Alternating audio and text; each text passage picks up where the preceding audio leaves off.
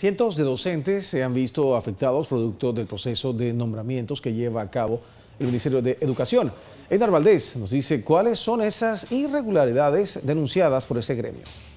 Supuestas irregularidades en el proceso de nombramiento de docentes denunciaron miembros de la Asociación Nacional de Profesores. La situación que tenemos es la misma que ocurrió el año pasado, cuando una vez iniciado el concurso se cambiaron las puntuaciones que originalmente tenían los colegas, lo que obviamente provocó el disgusto y la protesta de muchos porque se vieron en principio con un puntaje y posteriormente en el marco del mismo concurso, esta situación varió.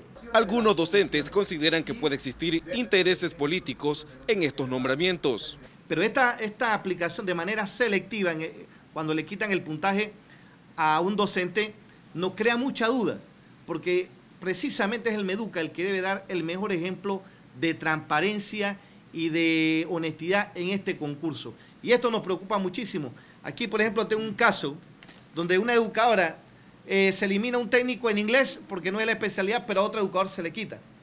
Entonces, ¿cómo a un educador se le quita puntaje y a otros no? Incluso ya se han presentado varios recursos legales en la Corte Suprema de Justicia para que sea a través de este órgano del Estado que se puedan resolver estas situaciones. La primera demanda que ya fue admitida, que es la demanda de inconstitucionalidad en, contra del artículo del decreto 1349, artículo 3, parágrafo, que ya fue admitida.